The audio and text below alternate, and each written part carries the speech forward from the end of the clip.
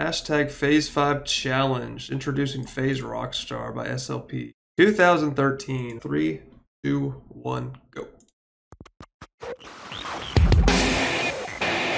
SLP. He was on another level.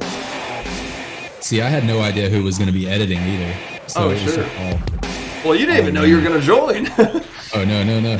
yeah. Yeah, but the dude, he killed it. See, like, come on, man. Like, how? That's stupid, dude.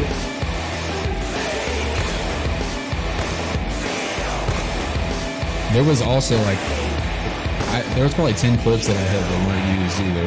That were probably better than some. So, did they make everyone send their clips in?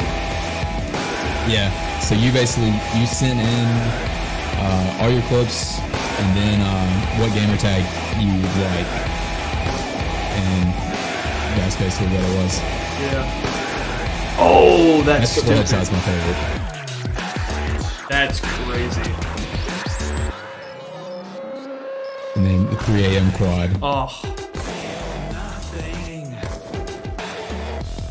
Yeah, dude, this guy can definitely edit like Star Wars if he wanted to. I mean, this was in 2013.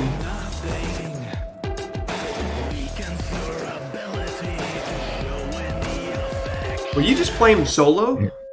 Oh no. Oh my Oh, god. that's the clip.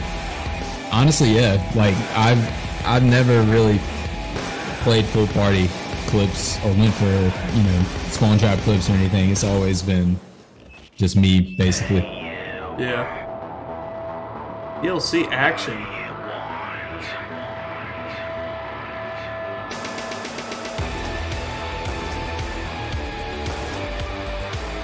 So they had the you you had to qualify and then you made it to the top 100, correct? Yes. And then what was after the top 100? Uh, they did a top 20, and then they had the five from the top 20. So literally out of everyone who went, there was only five people that made it. That's that's insane. Yeah, SLP is the is the goat. Dude. He is the GOAT. Holy cow. I can't believe you hit a quad of two triple heads in the span of what? How long was this? A month, two months? I recorded for three weeks, pretty much, just because. But it was like it was, freaking everything weeks. was broken up. So we had the two weeks, and then it, it would be you know two more weeks until they announced it. Then you'd have a week, and then it was two more weeks kind Yeah. of thing. But Three weeks and you hit those that many clips. That's crazy.